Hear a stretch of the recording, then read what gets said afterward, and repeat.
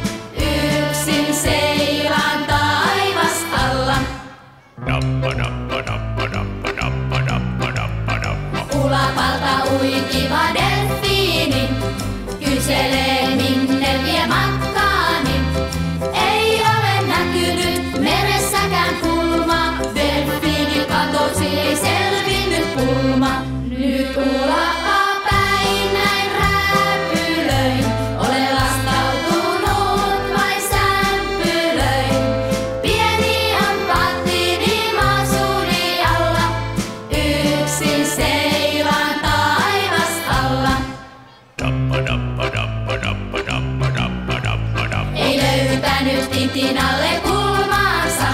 Näin ratkaisi Titinalle kulmaansa.